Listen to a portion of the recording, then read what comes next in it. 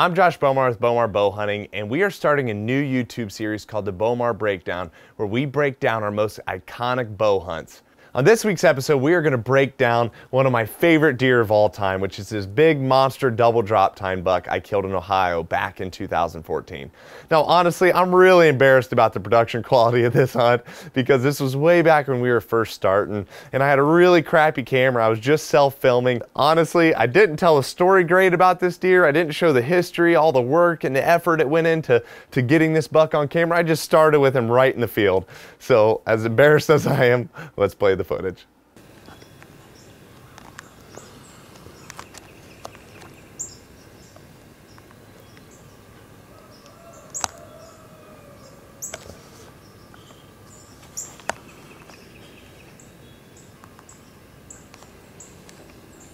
So as you guys can tell, this is top level production here. I'm talking everything is perfect. I'm just kidding, it's obviously not. But guys, this is also a really good point for you to know you don't have to be great to start, you just have to start. So I think that's actually a quote.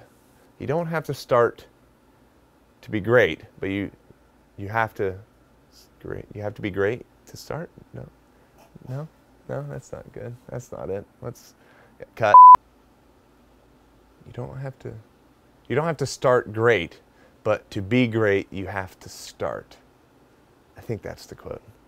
Yeah, that's inspiring. Not so much, sorry. All right, back to the back to the breakdown. So, this buck is awesome. He's one of my favorite deer of all time. It's so funny because building up to this season, I was actually practicing on a Delta McKenzie target called like the zombie deer or dead deer or whatever. And it was a perfect typical with matching drops with one red eye. It was like a zombie deer. And so I just envisioned this deer all summer long practicing and shooting this deer. And as by the grace of God, by somehow the law of attraction, I get a deer that literally mimicked that deer almost to an exact T. And it's kind of funny and kind of creepy at the same time, but still pretty cool. Little backstory on this buck. You know, Sarah and I were hunting in Kentucky and trying to get our first velvet buck. We didn't have any luck, but that trip was one of my favorite trips of all time because I met one of my best friends of all time, Jimmy Smith. Him and I were both having a bad hunt, but we got along really well. And he was one of the first people that I talked to that said marriage was one of the greatest things in the whole world because Sarah and I were actually thinking about getting married. And so that was what was super cool. He encouraged it. And so him and I became great friends over the next year. Well, he told me something that was kind of interesting. He said, Josh, he's like, I would love for you to come down and hunt with me. And you've all had those friends. Oh yeah, I'm sure you made it. You know, he's like, I'm serious. I want you to come down and hunt me. I got a couple properties I don't hunt that I think I can get you permission on. And I'm like, I'm like, I'm telling you, it's a two and a half hour drive because it was way down in southern Ohio. We lived up in northern Ohio, like actually kind of more central in Columbus area. And I said, I would make the drive. If you can get me a farm, any farm, don't care. I said, I'll make the drive. He's like, well, I know a farmer, he owes me a favor. So calls up this guy. And the guy says, well, I have people that hunt my property a lot, actually. I got X, Y, and Z that hunt it. I'm like, does, does any of them bow hunt? He's like, well, let me, my one, my one employee bow hunts. He's like, I'll, I'll ask him. And he owned two farms. Well, the guy that worked for him got to pick which farm he wanted, and then I got the, the other farm. So the, the guy picked the farm across the street, so I got the leftover farm, which is where this deer lived. It's kind of funny. And so come to find out though, Across the street, there was a bean field. In early summer, that guy was getting this buck on camera early in the bean field. I had corn on my side. And so he was over there all summer long. Really funny story, actually. This guy takes one of these trail cam photos he had of the deer and goes get it tattooed on his arm. True story. Gets this deer tattooed on his arm, and then the deer disappears from him, shows up on our property.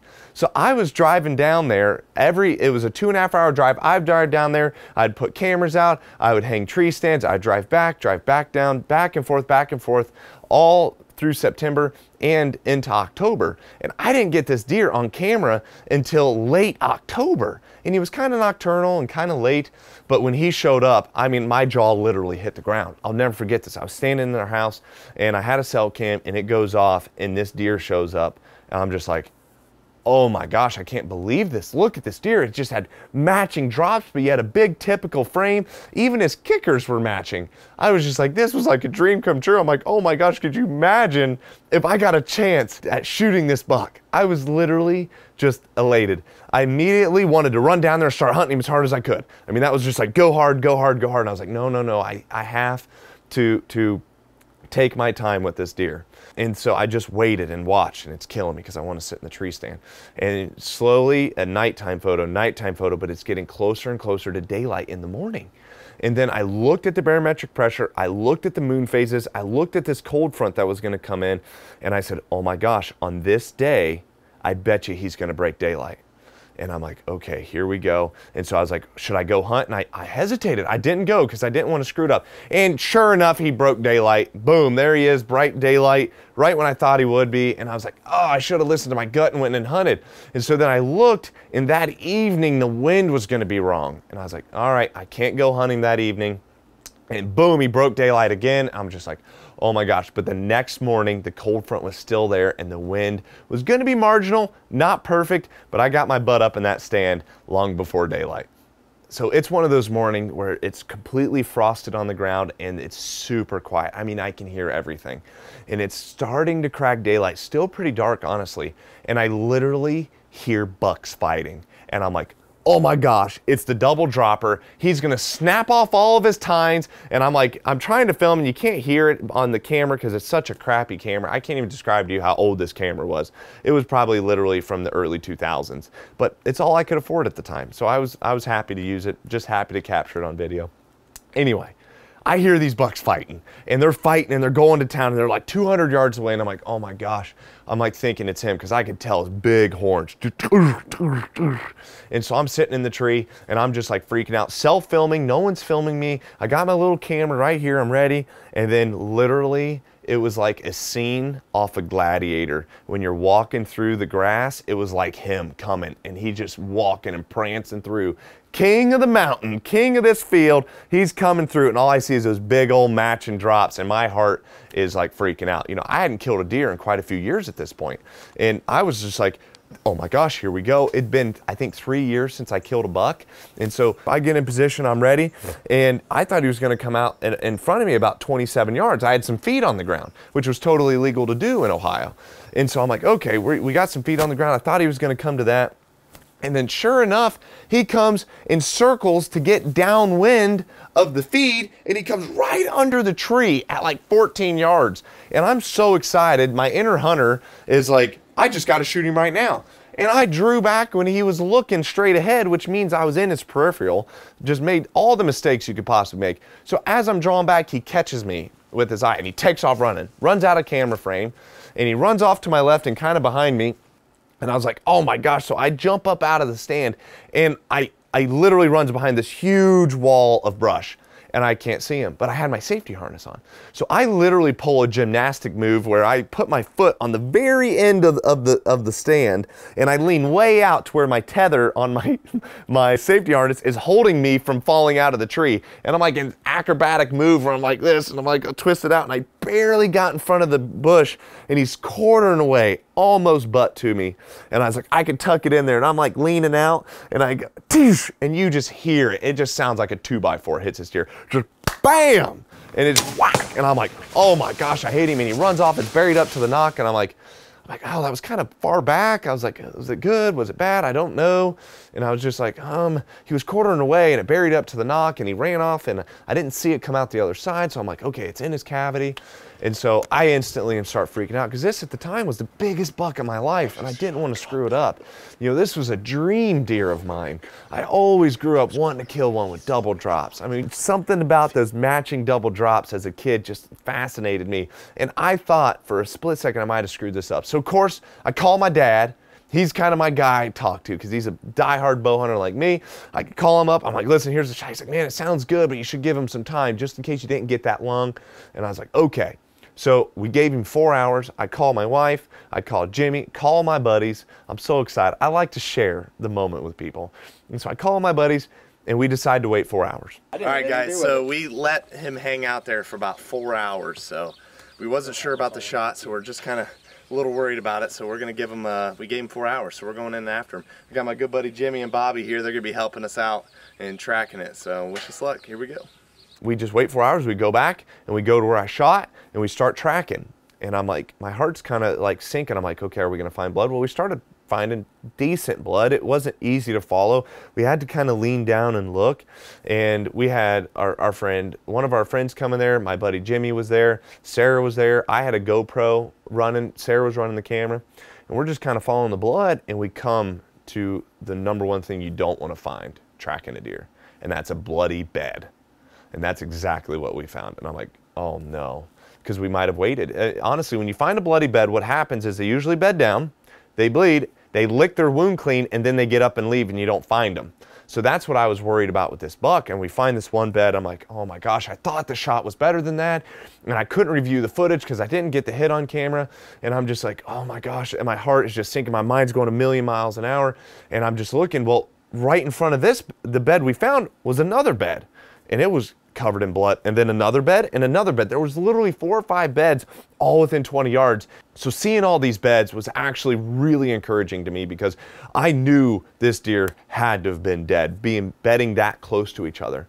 So I'm looking around and I look off to the right and I take one step to this right and I see a buzzard fly up in the middle of the trees. I was like, oh my gosh. I said, I wonder if that's my buck. I'm like, could he have been on my buck? And so I'm just kind of creeping forward and I see where that buzzard was. There was this little dip in the creek. And I look and I can see this patch of fur and I'm like, oh my gosh, it's a deer. I can tell it's a deer. And so I get further, that patch of fur turns into a hind quarter, which turns into his chest. And literally the head was behind a big tree. I'm like, I'm like, what if it's not my deer? I'm freaking out. And I take a step forward and he's laying there and you can just see this big old dropper hanging there. And I was just like, oh my gosh, it's him. And you guys know that experience. You've been there, I'm sure, where you shoot a deer and you have no idea if you get him or not. And of course I was there tracking and it was devastating not finding him right away. And then when you finally do find him, you guys know that feeling inside is just incredible. And that's exactly what I felt. And it's just such a relief. And to have my wife there, to have my buddy Jimmy there, and to have my other friend there, it was just awesome. Congratulations, Heck buddy. yeah, Josh. It's a dream come true. Yeah, man. Good job, buddy. Wow. Do you want What to? you got? You got one, two, three. And so we pick him up and we're looking at him and we're just like, this is, he was so much bigger than we thought. We thought he would have been in the upper 60s. Turns out he was a 180 inch deer. He officially scored like 178, like a total monster. And I was just the biggest deer in my life at the time. And I just couldn't be more grateful picking him up, looking at him. And it was just so cool to have everybody there. And Jimmy was such a great friend. I still to this day can't believe it because when I got that deer on camera, I told Jimmy, I said, Jimmy, you got to go hunt this buck because it was just knocking knocking on the door getting permission. I didn't lease this property. Other people had permission to hunt this property. A lot of people gun hunted it. I was like, "Jimmy, you help me find this buck." I said, "Why don't you shoot this deer?" I said, "I'm totally fine with that. You deserve it because it was a dream deer of his too." And being the great friend that he is, he said, "No way, man. You've been putting in the work to get this buck. You go shoot him." And uh, so that's exactly what we did. So our friendship has it's been six years, and we're still great friends. And uh, so anyway, this deer was just incredible to say the least. You know, we donated a lot of the meat actually, and uh, it was really cool. It fed tons of people. I mean, hundreds of meals, and this deer went a long ways. And I just couldn't be more grateful to have such a great giant buck. And honestly, guys, looking back on this footage, it's so funny to me because it's just so bad. I just don't even know what else to say. It's just so bad. And yet you guys still loved it, which is pretty cool. So again, if you guys are out there trying to start a YouTube channel, watch this video and you're like, this is horrible. I could easily do a better job than that, and you probably could. So again, you just have to start. And just it's never a great time to start. Just start, film with what you got, even if it's just your phone. And I had this old camera that was 20 years old or something crazy, and it worked. It got the job done. Well, guys, I hope you enjoyed this first video of our new YouTube series called the Bowmar Breakdown, where we break down our most iconic hunts. If you guys haven't done it already, please hit that subscribe button and turn on the bell notification so you're always tuned into our channel. And as always, Sarah and I absolutely love and appreciate all of your support. And thank you guys. We'll see you in the next video.